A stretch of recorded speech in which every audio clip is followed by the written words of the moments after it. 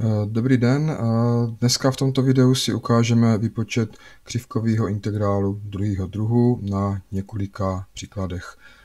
Eh, jako první čistě na metodu výpočtu, to znamená vlastně využití toho, co dejme tomu my bychom nazvali definicí toho křivkového integrálu, vypočítáme křivkový integrál jednoho vektorového pole po třech zadaných křivkách. To vektorové pole bude minus yx, tady zapsáno v i notaci, tady zapsáno uh, jako uspořádaná uh, dvojce bodů. A když jsme s tím xy dál od středu, tak norma toho vektoru je větší, protože to je odmocněna z x na druhou plus y na druhou, to znamená, že dál od středu je to pole intenzivnější a je to pole kolmí na uh, pole xy, protože skalární součin tohoto a tohoto je nulový a to pole xy to uh, míří od středu, to znamená tady k, v každém bodě toho vektorového pole, který my teď počítáme, tak máme vlastně kolmici na spojnici se středem. To znamená, že to silový pole, nebo to vektorový pole popisuje vlastně takový obíhání po kružnici v kladném smyslu. Když si tady tento integrál zapíšeme v komponentách, jo, tak to je vlastně jenom jiný zápis. Když f je minus yx, tak jiná varianta, jak tady tento integrál zapsat, je tady tahle, ale nám se pro počítání bude víc hodit tady tohle, držet to vektorově, protože potom ty zápisy jsou pohodlnější, logičtější nebo uh, kratší. Takže nejdřív spočítáme uh, integrál po té první křivce C1. To je křivka, která je dána uh, komponentami kosinus t a sinus t a t je od 0 do půl. Jo, v tomhle tom bychom měli uh, identifikovat kružnici, na přednáškách jsme si ukazovali, nebo část kružnice, na přednáškách jsme si ukazovali, že když to t bude od 0 do 2 pi, tak máme celou kružnici, když od 0 do pi půl, tak uh, to je jenom vlastně ten úhel od 0 do 90 stupňů, takže jenom uh, čtvrt kružnici, která leží v prvním kvadrantu. A my teď potřebujeme uh, znát uh, tečný vektor k té křivce, čili vlastně derivaci té křivky podle parametru. Derivace kosinu je minus sinus, uh, derivace sinu je kosinus, to znamená, že ten tečný vektor je tady tenhle ten. A když chceme uh, to vektorové pole vyjádřit podél té křivky, tak za x a za y dosazujeme tady to, co mám zadáno. Jo, to znamená, že máme minus y, y je sinus t, to znamená, že máme minus sinus t a druhá komponenta je x a to je přímo ten kosinus t. A teď to uh, skalárně vynásobíme. Vlastně můžeme si to představit, že tady toto je vektor posunutí, toto je působící síla a my spočítáme uh, příspěvek k té celkové práci, kterou vykonává ta síla. Jo, to znamená, že uh, musíme vzít z té síly uh, tečnou komponentu a vynásobit tu tečnou komponentu uh, s tím posunutím. Tohle to nám přesně zařídí ten skalární součin. Takže násobíme toto a toto. Udělám kolem toho raději puntíky. Násobíme tak, že první komponenty se spolu vynásobí, druhý komponenty se taky spolu vynásobí a celý se to sečte. Čili máme sinus na druhou plus kosinus na druhou a to je dohromady 1. Tak já už to tady k, budu zrovna uh, posouvat. To znamená, že podél té křivky je f krát dr podle dt rovno 1. Když to formálně třeba vynásobíme tím dt, tak máme f krát dr rovná se 1 krát dt. Jo? A tady tohle už se potom jenom zintegruje uh, v těch mezích, který máme pro ten parametr. Jo? A vyjde nám ten křivkový integrál. Jednoduché. Takže uh, ten křivkový integrál je integrál od nuly do pi půl, to jsou ty meze pro ten parametr z jedničky. A ten integrál není potřeba počítat, protože integrál z jedničky je délka intervalu, to znamená pi půl. Tady bych udělal uh, asi jednu odbočku. Uh, my jsme si eh, říkali na přednášce, že ten křivkový integrál nezávisí na konkrétní parametrizaci té křivky. Tak já zkusím spočítat ještě to stejný, ale pro nějakou jinou parametrizaci. Takže máme čtvrtkružnici. To znamená, ty body jsou svázané uh, rovnicí, uh, která říká, že x na druhou plus y na druhou se rovná 1 a to x i y jsou uh, nezáporný a na intervalu od 0 do 1. Jo. Když tam vypočítáme to y, tak y je plus nebo minus odmocnina z 1 minus x na druhou, protože teda to minus nebereme, nebereme tady tu, tuto část, ale jenom tu horní, tak plus a to x je od 0 do jedničky. To znamená, že tady tuto křivku můžeme brát, eh, jakože to je graf tady k této funkce. To znamená, že parametrizaci bychom mohli mít, eh, že to x bude t a y bude odmocněna z 1 minus t na druhou. A t je od 0 do jedničky. A tohle je vlastně křivka, která eh, odpovídá tady té čtvrtkružnici, ale je to trošku rozdíl oproti tomu předchozímu.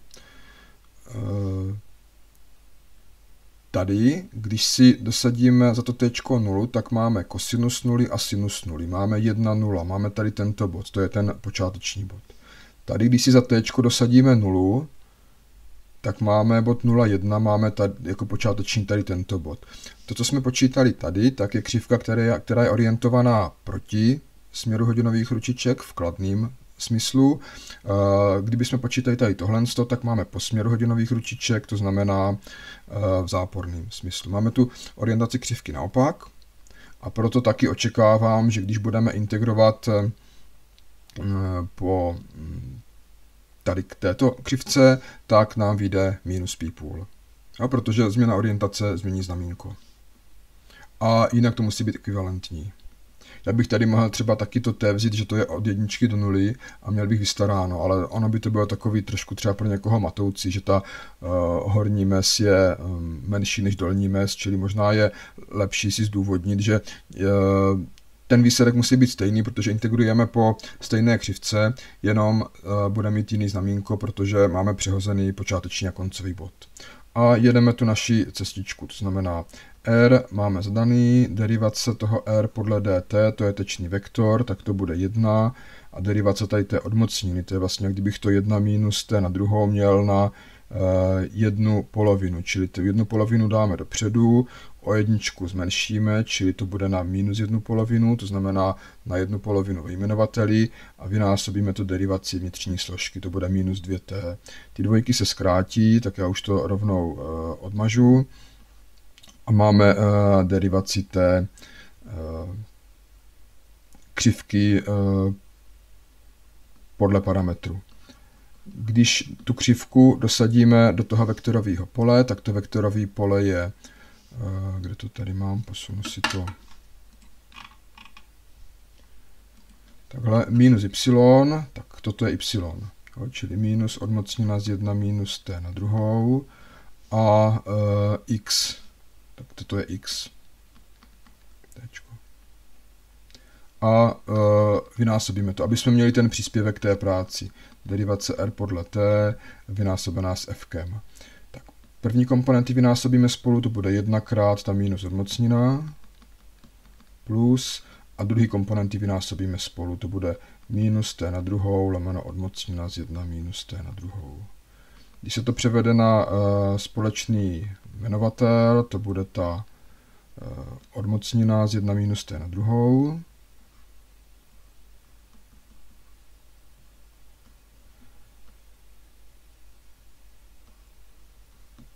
Tak v tom prvním čitateli bude ta odmocnina z 1 minus t na druhou krát, odmocnina z 1 minus t na druhou ještě se znamínkem minus, čili tady tohle, ty odmocniny dají dohromady první mocninu. A tady už ta, ten jmenovatel je, čili tam bude jenom plus, minus t na druhou. Tady to minus eh, s tím minusem dá dohromady plus, čili tady je t na druhou minus t na druhou, to je eh, jednička. Eh, pardon, t na druhou minus t na druhou je nula. A zbude tam jenom ta minus jednička a tady bude odmocněna z 1 minus t na druhou. Čili máme vlastně integrál v těch mezích pro ten parametr z tady tohoto minus 1 lomeno odmocněna z 1 minus t na druhou dt. Tady až na to minus, to je vzoreček s funkcí arcus sinus. A meze jsou od 0 do jedničky, to znamená, že máme minus arcus sinus 1, minus, minus, to znamená plus, arcus sinus 0. Arcus sinus 1 je číslo, jehož sinus se rovná 1 a to číslo z intervalu od minus pi půl do pi půl, to znamená pi půl. Arcus sinus 0 je číslo, jehož sinus se rovná 0 a je to číslo z intervalu od minus pi půl do pi půl, to znamená 0. Jo, čili minus pi půl plus 0, tak to je minus pi půl. Jo, tak opravdu vidíme, že to vyšlo tak, jak jsme čekali. Vychází to stejně, jenom opačný znamínko, protože máme opačný směr křivky. A přistupujeme eh, k té parametrizaci úplně jiným způsobem.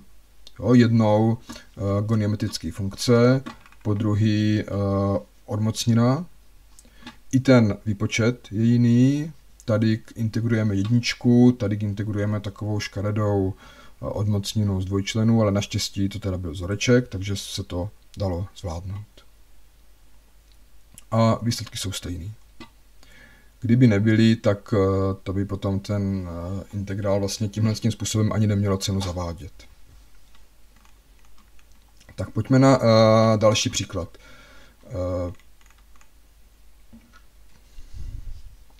Když uh, si tady k, uh, připomenu, že to f je minus yx a v mém případě r by bylo 1 minus tt. Já potom ty křivky uh, tady nakreslím. No? Nakreslíme, co to vlastně je za křivky. Ale tady víceméně to je jasný. Uh, ta křivka je lineární v tom t, čili to bude úsečka a krajní body dostanu tak, že tam dosadím za to té jednou tu dolní hodnotu a po druhý tu horní uh, hodnotu z toho intervalu, který mi omezuje ten parametr. Takže uh, derivace té křivky bude konstanta, nebo konstantní vektor teda, máme 0 minus 1, to je minus 1, a tady k 1. A když násobí, ještě vyjádříme tu, eh, to vektorové pole podél té křivky, to znamená, že eh, sem dosadíme za to y a za to x z té křivky, takže budeme mít minus t a potom x, to je 1 minus t. A e, počítáme skalární součin tady těch dvou vektorů. To znamená, že vynásobíme spolu první komponenty, to dostaneme t plus a vynásobíme spolu ty druhé komponenty, to dostaneme 1 minus t. A ten výsledek je zase 1. To znamená, že eh, ten celkový integrál zase dostaneme skoro zadarmo, protože integrujeme jedničku a to bude délka toho uh, intervalu. V tomto případě máme interval délky 1, to znamená, že ten výsledek je 1. Jo? Všimněte si, že jsme integrovali stejný uh, vektorový pole, ale po jiné dráze. A ten výsledek vyšel jinak. Jo? To, to se může stát. Tohle to v praktických případech znamená, že k tomu um, silovému poli nebo k tomu vektorovému poli se nedá zavést um, skalární potenciál. Nedá se tam zavést něco jako potenciální energie, protože tam by uh, to nesmělo záviset na tom, po jaké cestě se do toho koncového bodu dostaneme, ale jenom na tom, kde, jaký je vztah mezi tím počátečním a koncovým bodem. Tohle si uh, podrobněji rozebereme teda v příštím týdnu.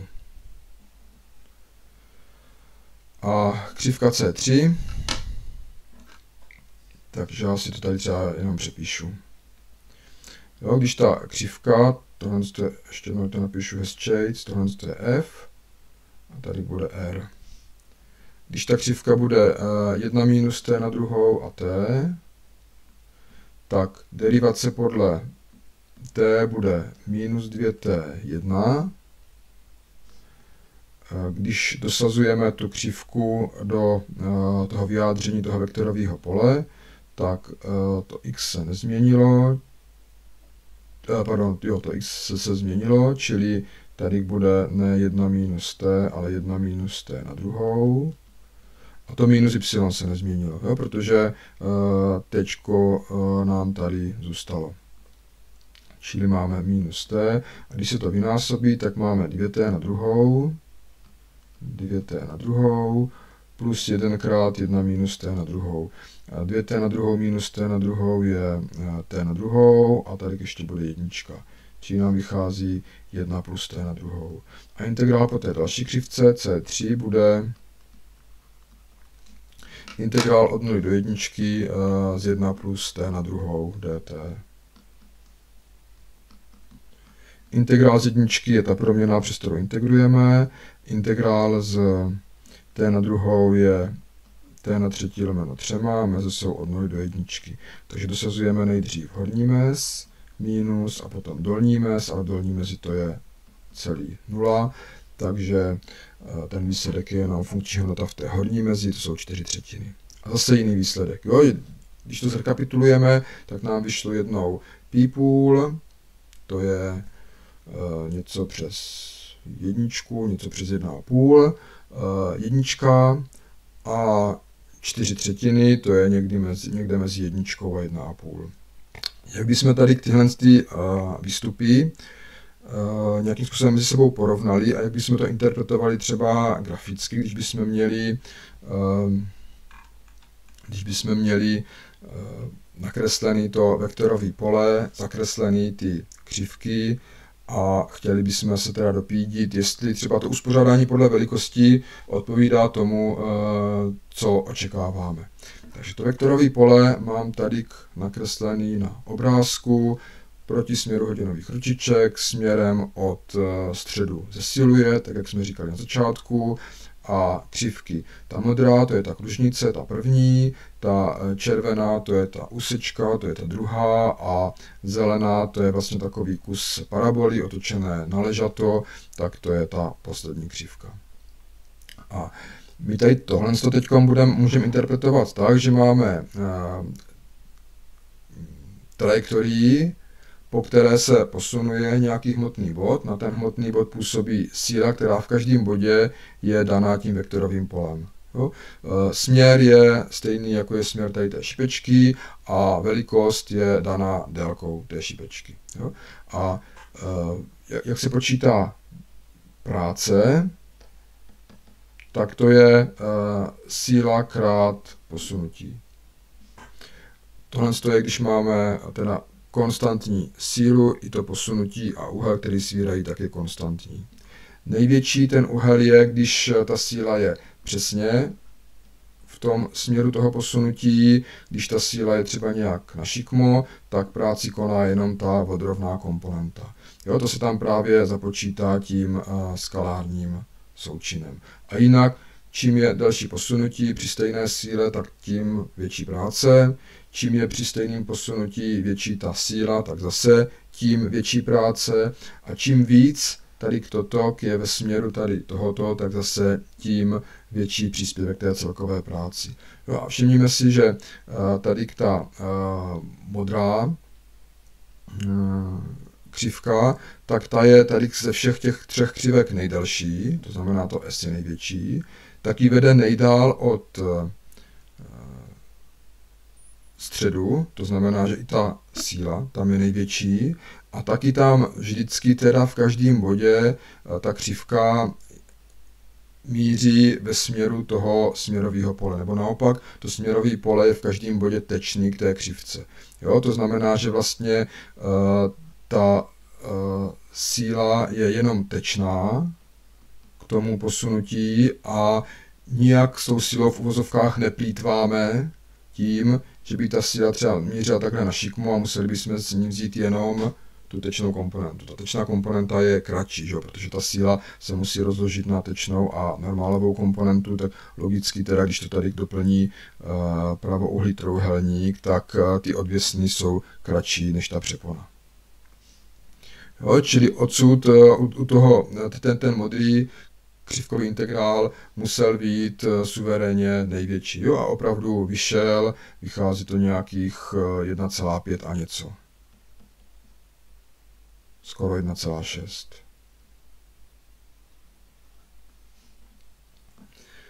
Eh, tady ta červená křivka, ta je nejkratší, čili tohle to tam je, to posunutí je nejhorší.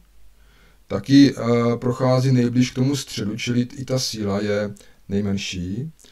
A taky uh, se tam dost v úzovkách jak kdyby plítvá, tím, že ta síla uh, nemíří ve směru uh, té křivky, ale svírá s ní nějaký neúplně malý úhel.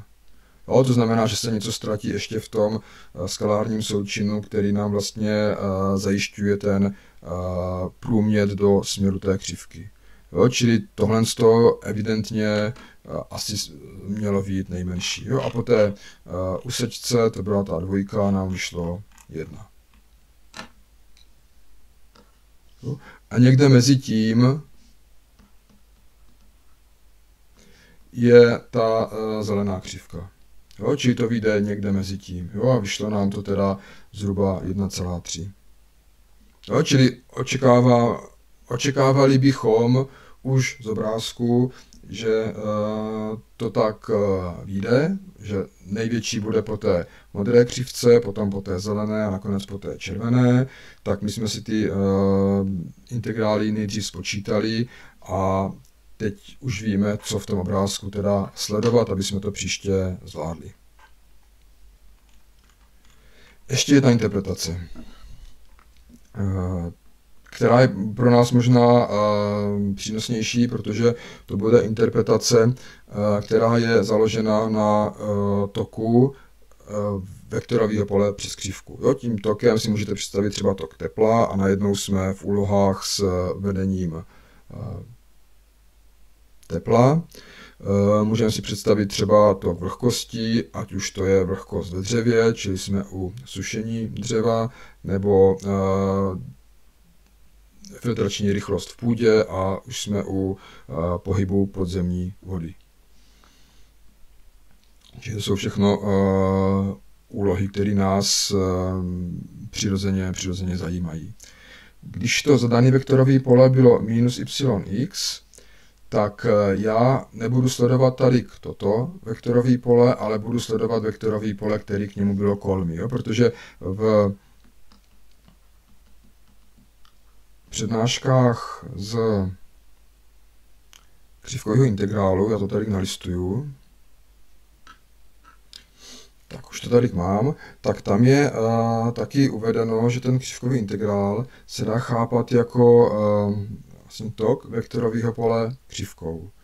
Eh, jaký je to vektorový pole? No tak když ten křivkový integrál je eh, minus qp, to znamená v mém případě minus y a x, tak to je tok vektorového pole eh, pq, čili p je to x, a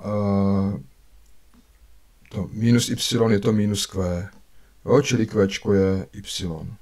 Jo, čili je to, jak kdybych měl uh, vektorový pole xy a sledoval teď ne práci v tom vektorovém poli, ale tok toho vektorového pole křivkou. Tak tady to vektorové pole xy mám nakreslený. Uh, každý vektor uh, míří od středu a velikost se zvětšuje s tím, jak se zvětšuje vzdálenost od počátku. A teď sledujeme tok toho vektorového pole křivkou.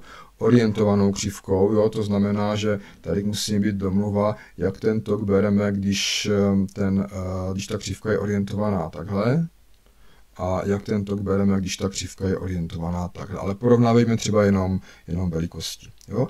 Tak největší příspěvek bude, když mě to teče kolmo na tu křivku, co největší rychlostí a přes co největší uh, délku té křivky. Jo, je to, jak kdyby jsme měli ve 3D nějaký okno a sledovali, kolik vzduchu se nám profoukne tím oknem. Tak to množství bude pochopitelně větší, když bude větší rychlost, když bude větší to okno a taky když to okno nebude tomu vzduchu vystavený nějak na šikmu.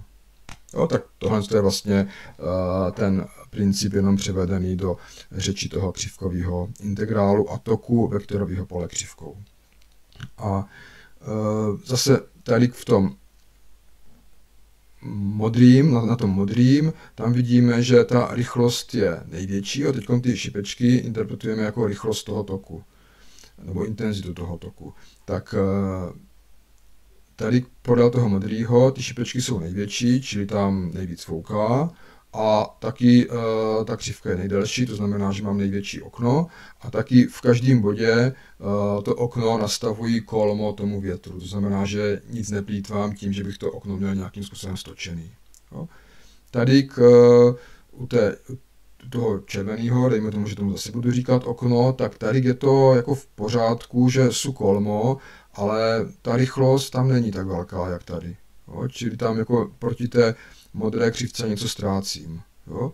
Tady zase něco ztrácím, sice ta rychlost se zvýší, tady ty šipečky jsou delší než tady, ale zase to tam fouká šikmo tím oknem. Jo? Podobně tady. A celkově to okno je uh, menší. Jo, to znamená, že ten celkový tok tady tímhle s tím červeným oknem bude menší, no a to zelený to je někde mezi. Jo, a zase si myslím, že to je eh, tady, teď, když si to takhle řekneme, celkem přirozený očekávat, že ty integrály budou uspořádány v tom pořadí, eh, jak, jsme je, eh, jak, jak nám to vyšlo.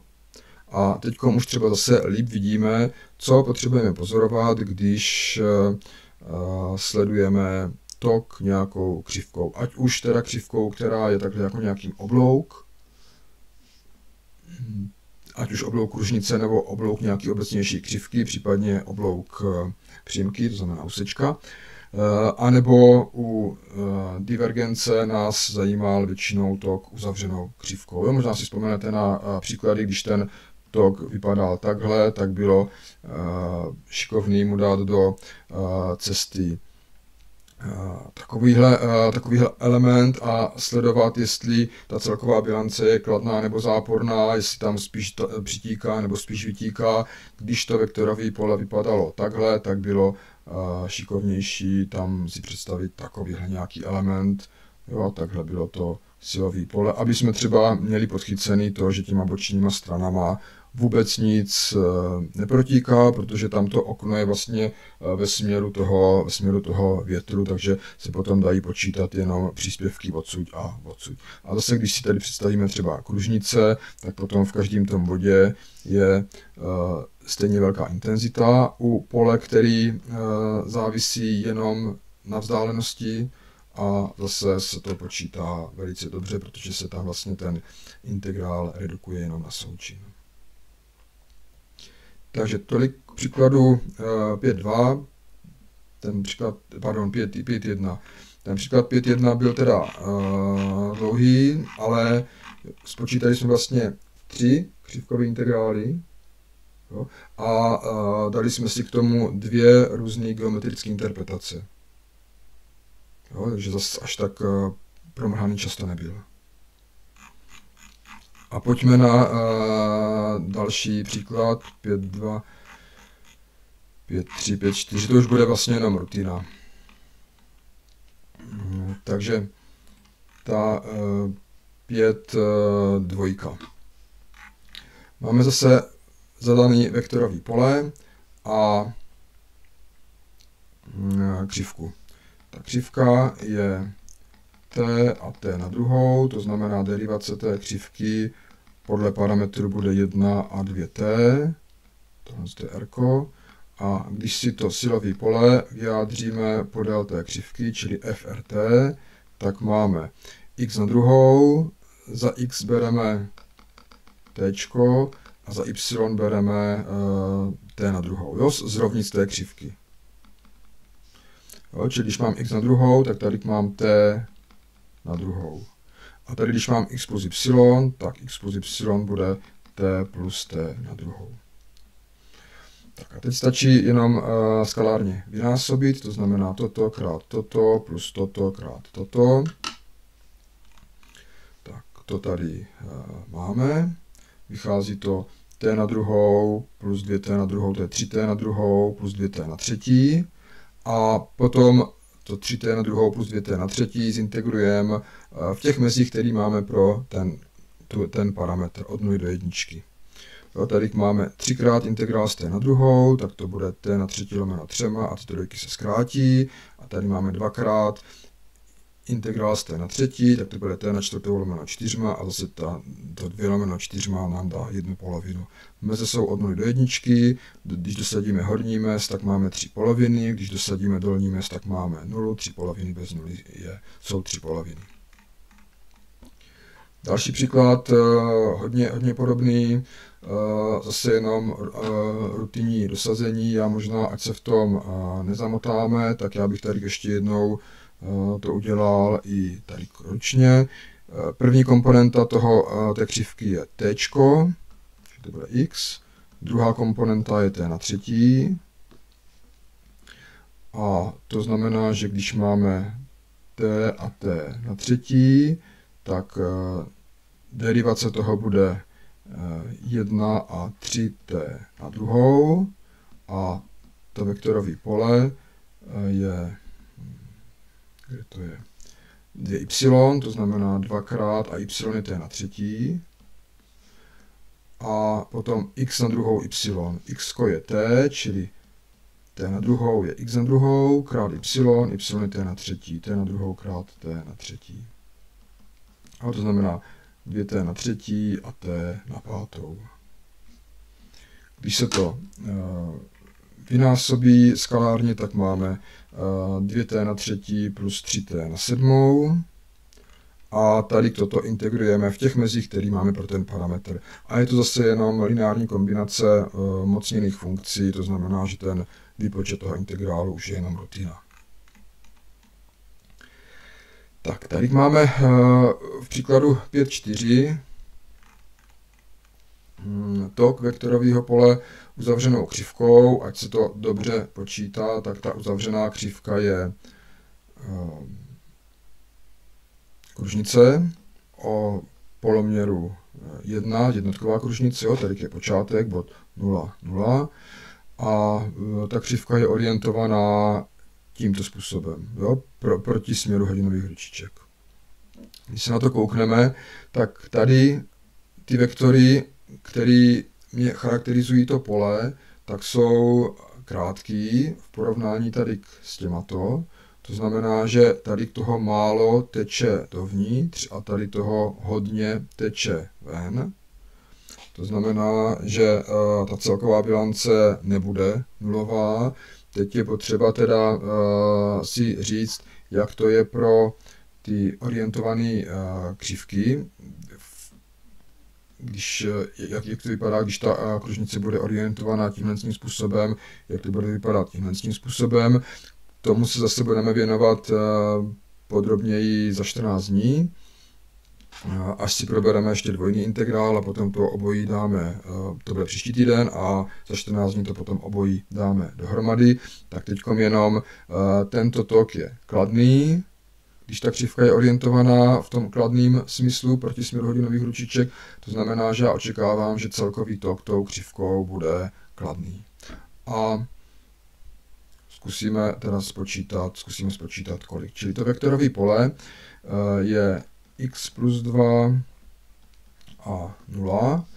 Když chceme teda spočítat tok toho vektorového pole, tak musíme uh, ty komponenty prohodit a tady u tohoto změnit znamínko. Jo? Čili minus 0 dx plus x plus 2 uh, dy.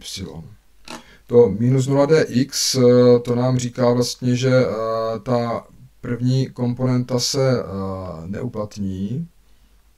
Ono taky nemá smysl ji psát.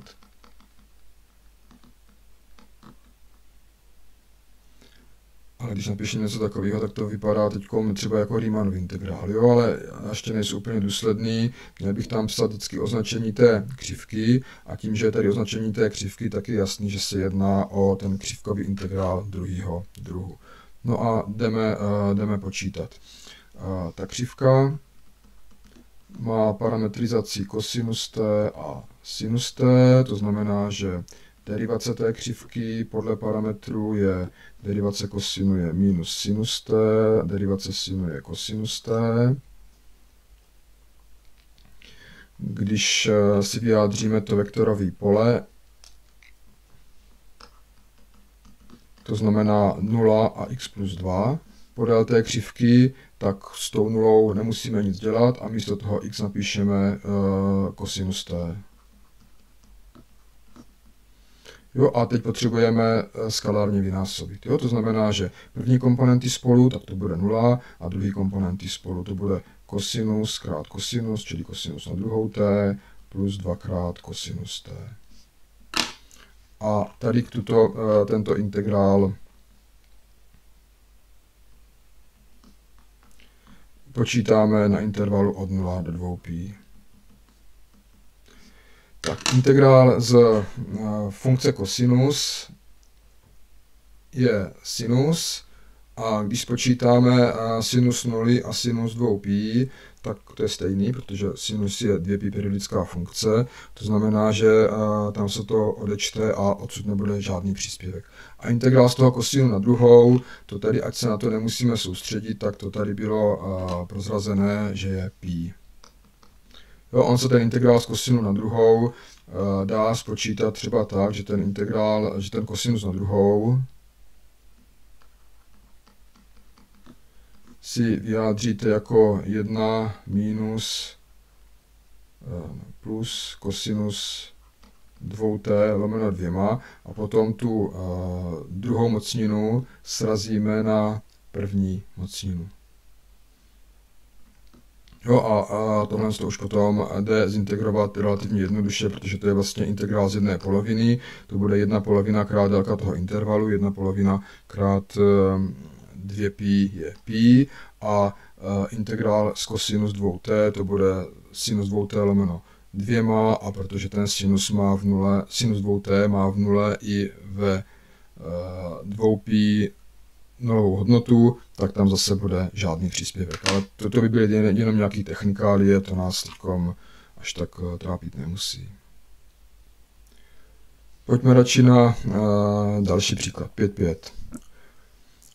Máme vypočítat tok vektorového pole, který je teď znázorněný na obrázku, to znamená, uh, je to vektorový pole y plus 2 a druhá komponenta je nulová. Když druhá komponenta je nulová, tak to znamená, že to Eh, vektorový pole míří vodorovně a když ta xová komponenta roste s y, tak to znamená, že to vektorové pole roste směrem nahoru. Jo, tady v tom předchozím eh, ta první komponenta rostla s x a to eh, vektorové pole rostlo nebo zesilovalo směrem doprava, tak teď zesiluje směrem nahoru. A zase, když bychom odhadli teda, co nám asi má být, když bychom počítali tok toho vektorového pole tady tou křivkou, tak eh, jak to bude? No tak eh, tady k mě vleze nějaká šipečka eh, do té kružnice a tady vyleze stejně velká pod stejným úhlem, tak to by se mělo vyrušit. Že? A stejně tak tady Tohle to má tady bratříčka, toto má tady bratříčka stejně velkýho s opačným zamínkem, vyruší se to, stejně tak třeba tady toto s tímto. No, čekal bych, že ten celkový tok uh, bude nulový. Tak zkusme spočítat. No, takže vektorový pole teď není uh, x plus 2, ale y plus 2, čili místo x tam máme y. No, tak to připíšu a počítáme tady tento křivkový integrál druhého druhu po té stejné křivce, čili tohle to všechno zůstává. Za místo x jsme vzali y, čili když tohle je x a tohle je y, tak y bude uh, sinus t, to znamená, že y plus 2 bude sinus t plus 2. A když potom počítáme uh, skalární součin tohoto a tohoto, tak Tady to 0 krát minus sinus bude pořád 0. A tady budeme mít eh, sinus t krát kosinus t, no, čili tam změna. Sinus t krát kosinus t plus 2 krát kosinus t, to je stejný. A ten uh, sinus té kosinus t se dá napsat jako jedna polovina sinus 2t a zase z toho součinu máme relativně hezkou funkci a dá se to zintegrovat, ale tady k nám radí, že ten příspěvek tady odsud bude nulový.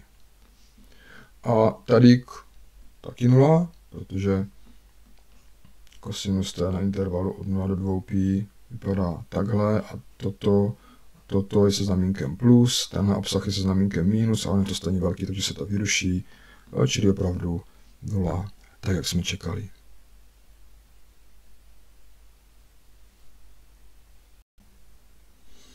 No a ještě bych se tady dovolil uh, spočít, pro, proběhnout ty příklady na křivkový integrál, který máte ve webworku.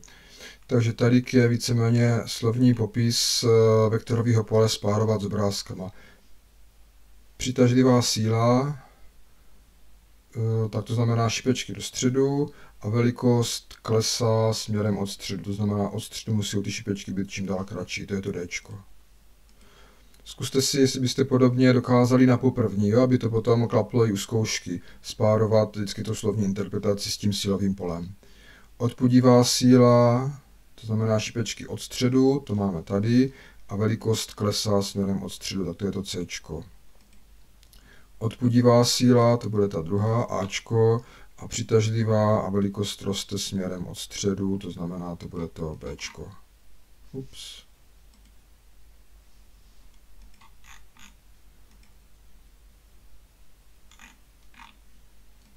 Prima, další úloha. Eh, tady je eh, ten případ, že mám zadaný eh, skalární, vektorový, pardon, skalární pole pomocí třeba vrstevnic a gradient je vektorový pole z vektoru, který je kolmý na ty vrstevnice. Takže já tady potřebuju určit, který obrázky patří k sobě, to znamená, kde ty šipečky jsou kolmý na ty červené křivky vrstevnice. Takže tady tohle to bude odpovídat tomu, že tady jsou kružnice, tady k, třeba tady k tato šipečka je kolma na úsečku, která jde takhle, jo, čili pokud je tady k vrstevnice, tak musí tady k tímto směrem, tímto směrem. Jo, tak to bude evidentně tady toto. No a tady k pokud je vrstevnice, tak musí tady tímto směrem, tak to je tady. C. Jo, takže zase si myslím, že tady k, snad skoro ani není možný chybovat. Když člověk ví teda, co tam hledat, jo, tak právě proto ty úlohu děláme. Když chceme uh, spárovat uh, vektorový pole, to ještě trochu zmenším uh, s předpisem.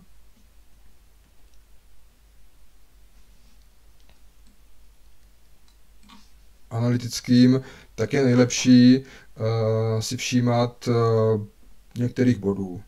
Jo, třeba tady k uh, bod 1.1. Jo, podle toho, jestli ten vektor bude mířit takhle, nebo takto, nebo takto, tak dokážu bez problému rozhodnout mezi těma jednotlivýma uh, variantama. Čili to pole F v bodě 1.1 bude 1.1. To pole G v bodě 1.1. Komu by se to zdálo moc složitý s tím 1.1, tak může třeba bod 1.0 a 0.1. G v bodě 1.1 bude minus 1.1. A H v bodě 1.1 je 1 minus 1. Já to píšu jako uspořádaný uh, dvojice a ne v té IEK notaci. Jo, tak tady tahle ta druhá komponenta je záporná, to znamená, že to háčko to bude to, kde ten vektor míří směrem dolů. Jo, čili to odpovídá té variantě C. Jo.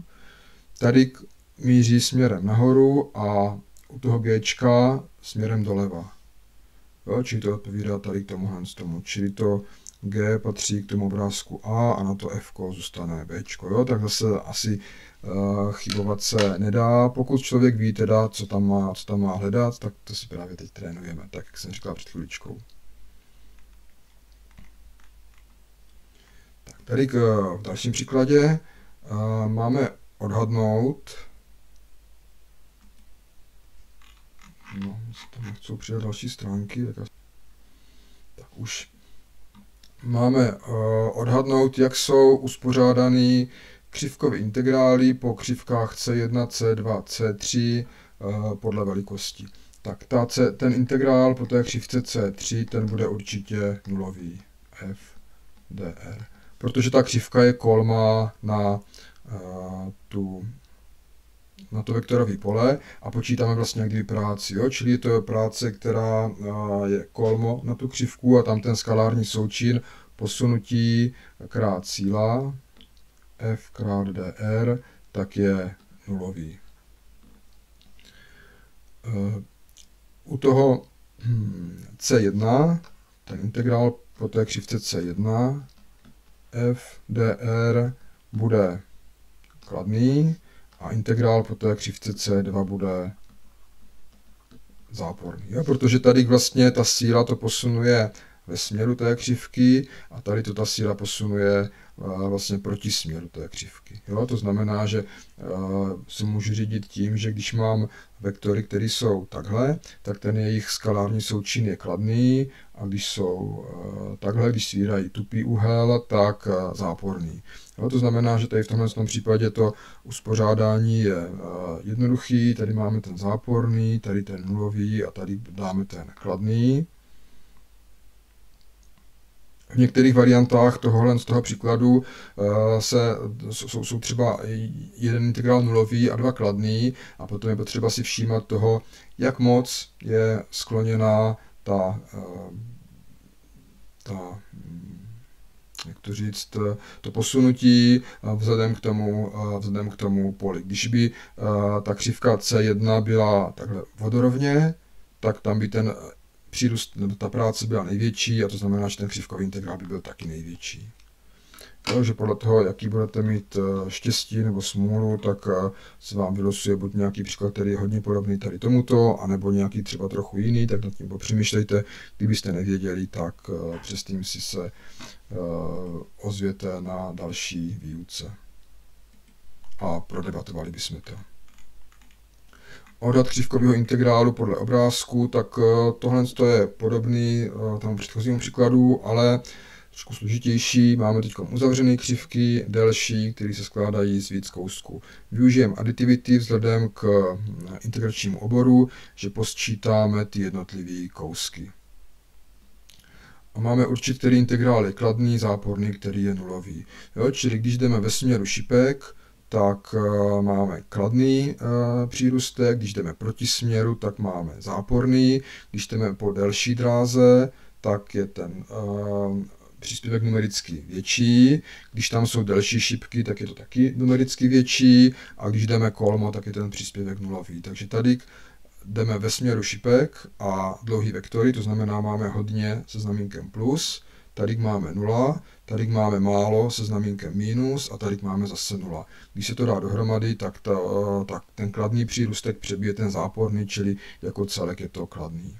Jo, tady máme, uh, proti, jdeme proti těm šipkám a ty jsou delší než tady, kde jdeme ve směru těch šipek, čili tady máme hodně se znamínkem minus, tady máme málo se znamínkem plus, čili bude převládat to minus. Tady na téhle a na téhle části jsme kolmo na šipky, to znamená nulový příspěvek a tady jdeme ve směru těch šipek, plus minus, jo, trošku, trošku to je odkloněný, ale víceméně ve směru těch šipek, není tam tupý úhel, ale je tam ostrý úhel, takže kladný příspěvek. Jo. Tady k, na tomhle tom máme plus, protože jdeme ve směru šipek, tady máme minus, protože jdeme e, proti směru, tady na těch obloucích jsme kolmo na ty šipky, to znamená nulový příspěvek a, tady, tady je ta dráha stejně dlouhá, šipky taky stejně dlouhé, to znamená, že ty příspěvky jsou stejný a po sečtení, když je má znamínko plus, druhý minus, dá to nulu. Tady k, zase si člověk může představit, že tady na této hranici máme, jak to je, hm, tady máme se znamínkem plus, protože ty šipky míří vlastně ve směru té uh, hranice, ve, ve směru té křivky.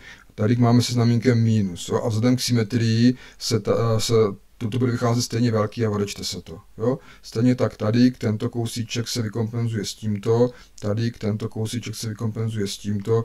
Myslím si, že dohromady uh, by to mělo být nulový. Jo? A tady k, máme vlastně kolmí uh, to posunutí kolmou tu křivku na to vektorový pole, čili ten příspěvek je zase nulový.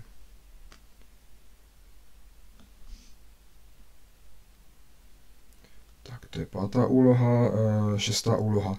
Eh, tečný vektor ke křivce, čili vlastně derivace křivky. Tak to je jednoduchý, zderivujeme toto, zderivujeme toto podle t a jenom to musíme zapsat jako vektor. Třeba pomocí jako uspořádanou dvojici. Čili dvakrát eh, derivace t na třetí je 3t na druhou, minus dvakrát derivace t na druhou je 2t a plus derivace dvojky je 0. A druhá komponenta bude, už to 4x3 vynásobím, 12x t na 3 bez 1 je 2. Prima, další úloha. Eh, vyjádření toho vektorového pole podél té křivky, čili máme minus 4 krát x krát y, je první komponenta, druhá komponenta je x na druhou plus 3 krát y. A tohle to pochopitelně teda uh, nemůže být v té odpovědi, já to musím mít celý vyjádřený v té proměné t. Jo, ale uh, předepíšu to tam nejdřív a teď za x dosazujem uh, minus t na druhou.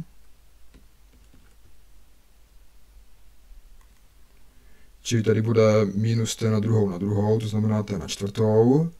A za y dosazujeme t. No to tady možná napíšu. r je minus t na druhou a t. To znamená, že x je minus t na druhou a y je t. A když to uh, vektorový pole má komponenty minus 4xy, a druhá komponenta je x na druhou plus 3y. E, tak za y se dosazuje všude t. E, za x na druhou a tak znovu to tam musím zadat. Minus 4 krát x je minus t na druhou, tak s tím minusem to tady dá plus, já už to rovnou budu teda upravovat krát y krát t, čili uh, tam bude t na třetí. A t na druhou, čili minus t na druhou. Ještě jednou na druhou, to je t na čtvrtou, plus 3 krát t. A teď už to nespletu, dám odeslat povědi.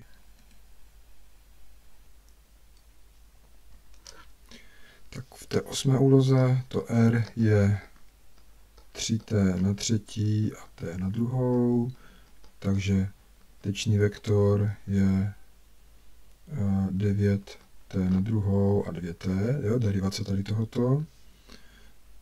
f, když je mm, minus 2xy na třetí a x, tak podél té křivky eh, r, když x je 3t na třetí, tak máme minus 2 krát 3t na třetí krát a y je t na druhou a ještě na třetí, t na šestou a x je 3t na třetí. Tady. Zkusíme. 9t na druhou krát i plus 2t krát je. Tady potom bude minus 2 krát 3 je minus 6, t na devátou krát i plus 3t na třetí krát je.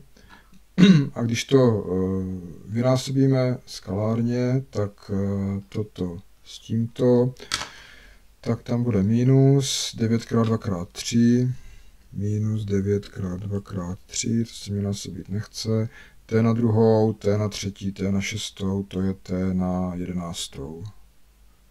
Krát t na jedenáctou plus a 2 krát 3 je 6 a t krát t na třetí je t na čtvrtou.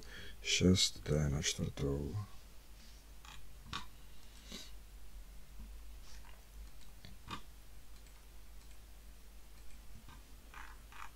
Tak, další úloha uh, R je t na třetí.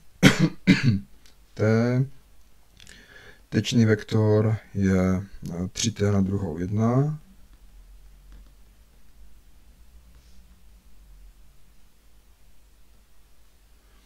f je uh, xy a 3x na druhou. Když to f vyjádříme podél té křivky r, tak za x tam dosazujeme t na třetí, či tedy bude t na třetí uh, na druhou, to je t na šestou a y je t. A to znamená, že máme t na čtvrtou, a 3t na šestou. Když to skalárně vynásobíme, tak máme 3 krát t na šestou plus 3 krát t na šestou, to je dohromady 6 krát t na šestou. A integrujeme od 0 do 2. To je 6 krát t na sedmou lomeno 7 a meze jsou od 0 do 2. Takže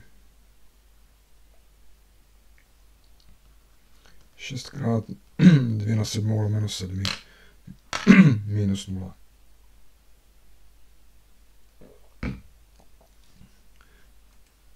Tak eh, já to zkusím teda teď tam zadat, jestli to má správně. Takže 3t na druhou a 1, třeba na, ne v té IEK notaci, ale pomocí vektorů. Je to jedno. Eh, t na čtvrtou a 3t na šestou. Eh, tady k 6 na šestou, 6 na šestou. A tady bude 6 krát 2 na sedmou. Lomeno 7, tak třeba 6 sedmín krát 2 na sedmou.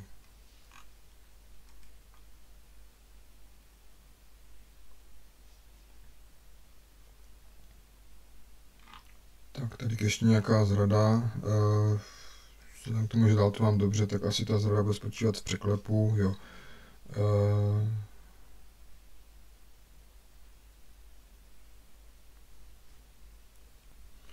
Jo, teď si nejsou jistý, co jsem tam dělal. 3T na druhou.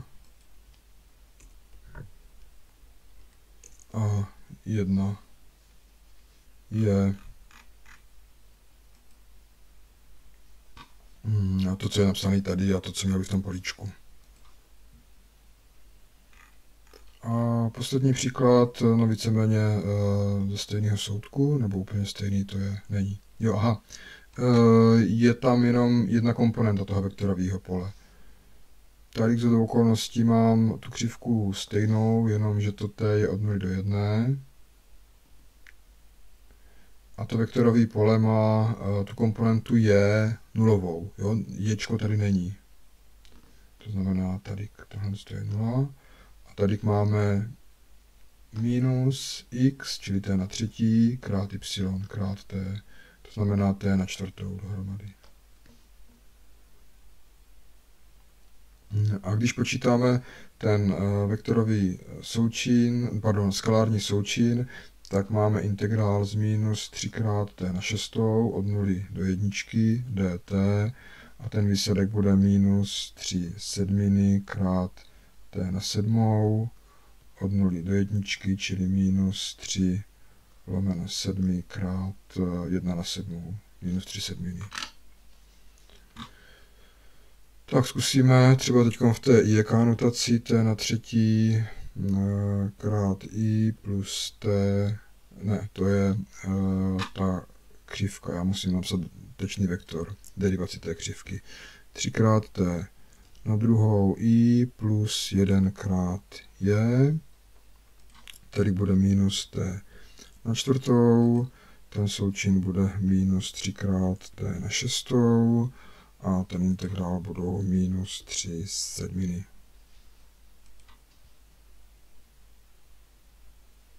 A tady mě to eh, křičí, že jsem tam měl zadat uh, vektor, ale nezadal, nezadal opravdu. Takže buď krát i, anebo,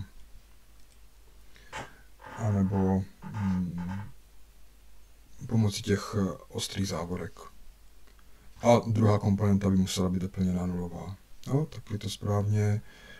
A vidím, že mám teda všechny úkoly správně. Věřím, že budete mít taky.